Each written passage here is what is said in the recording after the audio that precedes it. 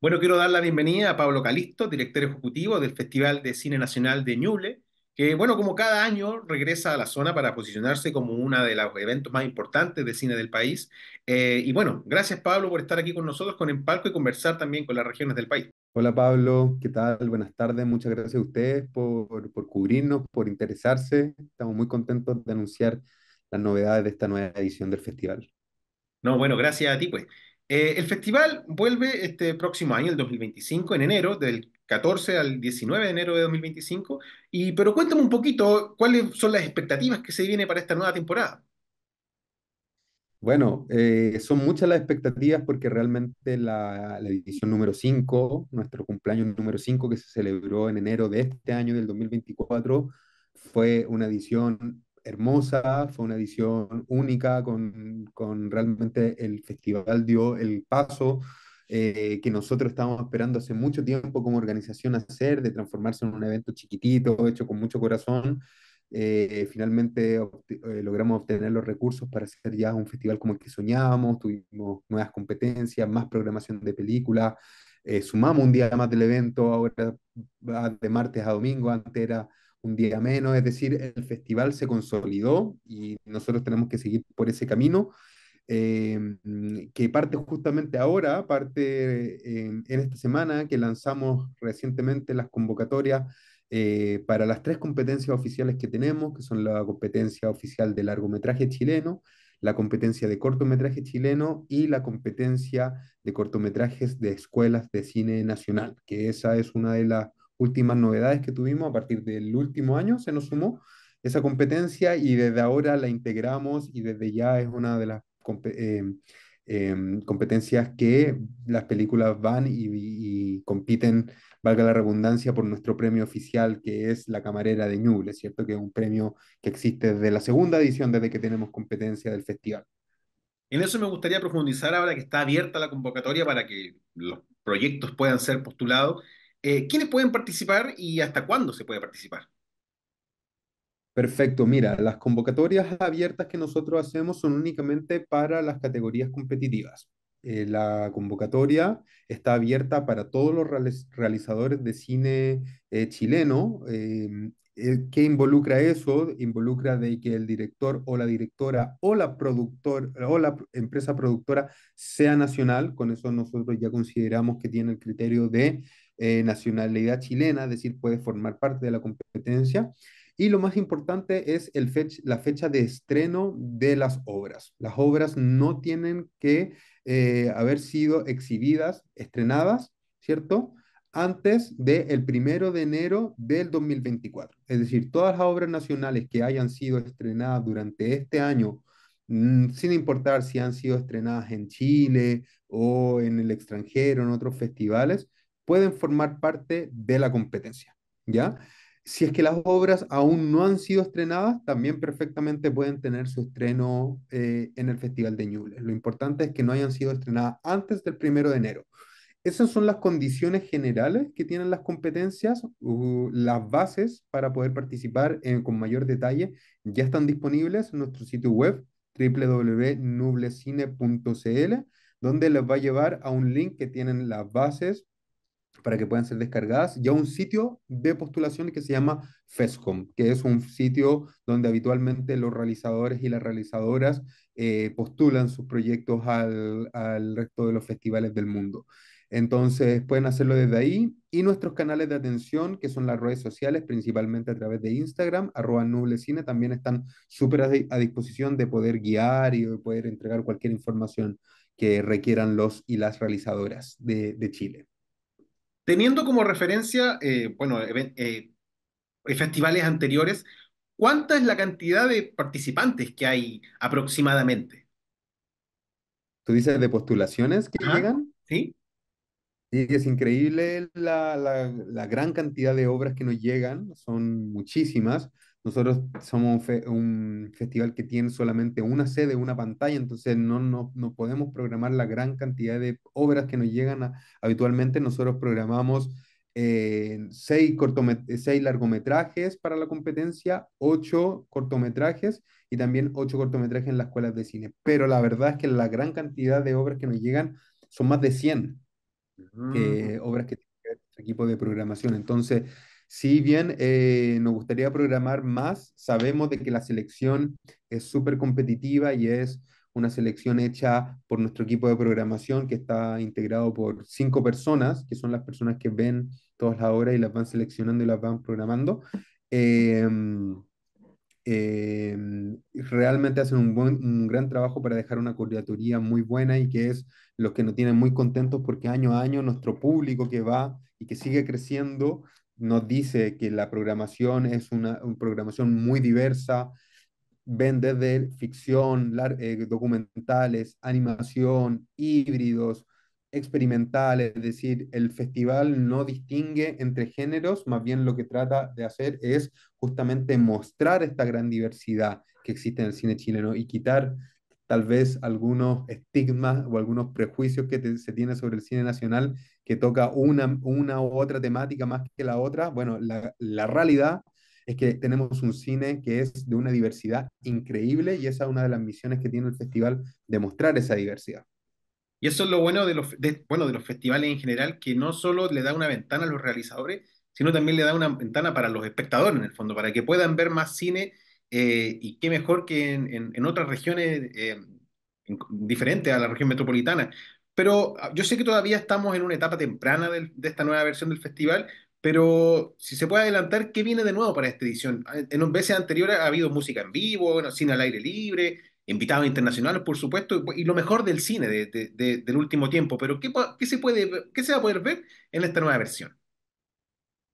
Ya, ya estamos pidiendo sorpresitas, novedades. Bueno, mira, eh, todavía no podemos adelantar cosas, títulos programáticos, pero estamos trabajando. Nosotros tenemos las, las, secciones competitivas que ya, te, que ya te conté y tenemos, como, dice, como dijiste tú muy bien, muchas secciones, otras secciones paralelas que han ido algunas eh, sumándose con el año, eh, pero tenemos algunas novedades que nosotros ya podemos contar, un área que estuvo muy demandada, que se llama la Universidad del Cine, que nosotros traemos cursos profesionales gratuitos, abiertos, que son de primer nivel.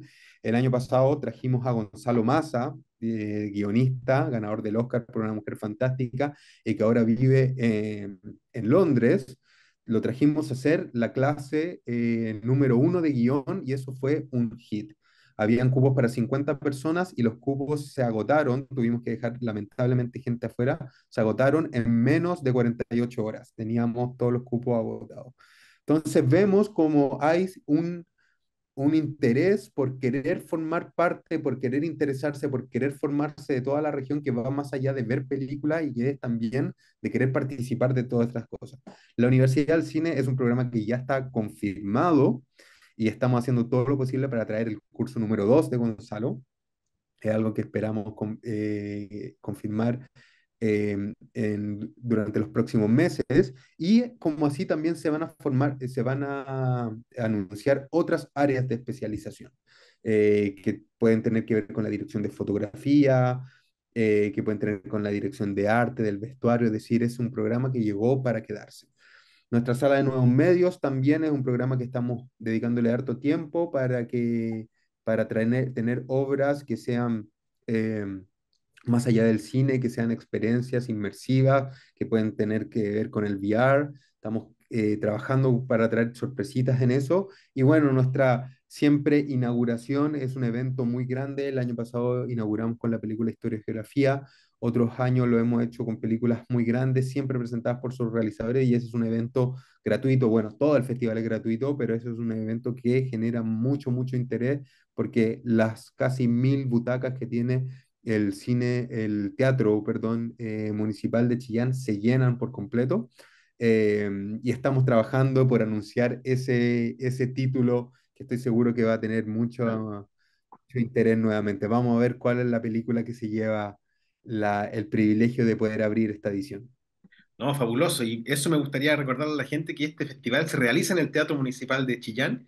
Eh, y bueno, contarle que estamos conversando con Pablo Calisto, director ejecutivo del Festival de Cine Nacional de Ñuble, que vuelve, por supuesto, en enero del próximo año, del 14 al 19 de enero, y que ya tiene abierta la convocatoria para las diferentes eh, secciones en el fondo que tiene el festival, pero me gustaría llevarte a otro tema ahora, eh, ya para terminar la entrevista, y hablar un poquito sobre el cine chileno y cómo está actualmente en el panorama internacional, si ha ido creciendo y últimamente se ha ido notando también con cómo se ve en la palestra. ¿Tenemos industria todavía o aún falta? Uy, sí, es una, es una pregunta que habitualmente nos hacemos. La verdad es que el auge que tuvo el cine chileno en los últimos 10, 15 años, llegando a lugares donde antes era muy difícil llegar, ¿cierto? Incluidos, eso no es lo único, pero incluidos los, premios Oscar que en Chile no ostentaba, ¿cierto? Y que, y que ahora sí ostenta, son novedades maravillosas porque de alguna manera se abrió el camino para que más realizadores que venían detrás de eso pudieran ocupar esa carta de presentación y decir, mira, Chile está posicionado en el mapa del mundo como una filmografía pujante, diversa, con nuevos talentos, eh, y eso es maravilloso que suceda, y nosotros, yo también soy realizador, entonces puedo hablar en primera persona de eso, eh, sí lo podemos comprobar y vivir. También tenemos un acompañamiento institucional que es muy bueno, siempre nos gustaría que fuera mejor, pero tenemos un sistema de fondos que que no alcanza, pero afortunadamente es bastante estable y también de presencia y de asistencia a otros mercados y festivales para poder producir nuestra obra. Entonces, la pregunta si somos o no somos industria eh, es una pregunta que se puede responder desde muchos eh, aristas. Eh, yo creo que todavía falta acercar el cine chileno hacia el público y tenemos una deuda en eso. Hay muchas películas muy buenas que deberían tener muchos más espectadores que los que eh, tienen en las salas de cine y deberían tener muchas más ventanas de exhibición, ¿cierto? Porque yo estoy seguro que público existe. Cuando hay una obra que sale, que se destaca, podemos ver de que la gente quiere ir, quiere asistir, quiere formar parte. Sin embargo, estamos fallando en la comunicación, estamos fallando en la distribución, estamos fallando en los espacios eh, para exhibir esas obras y justamente los festivales de cine somos una, una oportunidad no solamente para poder exhibir cine una vez al año, en nuestro caso es gratuito y es cine de excelente calidad, sino que también para crear audiencias. Y eso es algo que nosotros tenemos que eh, asumir la responsabilidad como realizadores de acercarnos a la audiencia. No podemos seguir con esta eh, gran barrera que podríamos decir de acceso al cine chileno, porque hay películas geniales que merecen ser vistas eh, y no se están viendo. Entonces tenemos que afirmarnos por ese lado y, y esa es una invitación que nosotros hacemos y desde el Festival de Cine Ñuble siempre vamos a trabajar por acercar el cine chileno a las personas. Justamente ese es uno de los motivos de por qué es un festival de cine nacional. Nos encantaría exhibir obras latinoamericanas, internacionales, pero hay muchas obras chi- chilenas que ni siquiera se exhiben en el territorio en, en Ñuble. Entonces, esa es una de la- de las tareas que nosotros y uno de los propósitos que nosotros tenemos como organizadores de este festival. Pablo, yo te lo preguntaba porque, claro, tú eres productor ejecutivo, has estado detrás de producciones nacionales más o menos recono- reconocidas en el fondo del- en el panorama nacional, como Historia y Geografía, que tú mencionabas, de Bernardo Kesney, que tuvimos la suerte de verla, y era una película súper entretenida, súper interesante, y que planteaba una temática eh, muy divertida en el fondo. Yo la pasé muy bien viendo esa película, Eh, pero tú, por ejemplo, como realizador, ¿qué le dirías a esas personas que le encanta el cine, que vibra con el cine y que quizá tiene esa película en la cabeza? Eh, ¿se puede realizar? ¿Sigue siendo difícil hacer cine en Chile? Sin duda que es más fácil que antes, hay accesos a, em, para hacerlo. Hay barreras, por supuesto que sí, pero con originalidad y con determinación yo, yo creo que se puede hacer una primera película. Yo recuerdo cuando hicimos nuestra primera película, que se llama La Mentirita Blanca, con el Tomás, la hicimos con un presupuesto muy pequeño eh, y teníamos la determinación de hacerla. Y sin duda de que uno no puede seguir siempre toda la vida así, ¿cierto? Porque llega un momento en que uno tiene que profesionalizar los procesos. eh, y eso sin duda que sí es un paso complicado acercarse al profesionalismo porque son presupuestos que, a diferencia de otra industria, son muy, siguen siendo muy bajitos, pero también siguen siendo muy altos para nuestra realidad. Tener que levantar 200, 300, 400 millones de pesos para filmar una película. Entonces, mi mensaje es ir de a poco, es primero que todo eh, encontrar esa historia que uno quiere contar, porque cuando uno se enamora de la historia difícilmente y, y, y está seguro de que es uno quien tiene que contar esa película, Eh, esa es la principal determinación que necesitamos para hacer cine. Eh, después, crear equipo es fundamental. El cine es colectivo antes que todo. Crear equipo es fundamental. Encontrar esos socios eh, que vibran igual que tú es muy fundamental para crear una obra con personalidad. Y después, entender de que, de que en la colaboración, de la colaboración es posible todavía hacer cosas pareciera iluso en esta sociedad donde todo es muy individualista, pero el cine afortunadamente es súper colectivo y es súper colaborativo. Y eso es algo hermoso que tiene.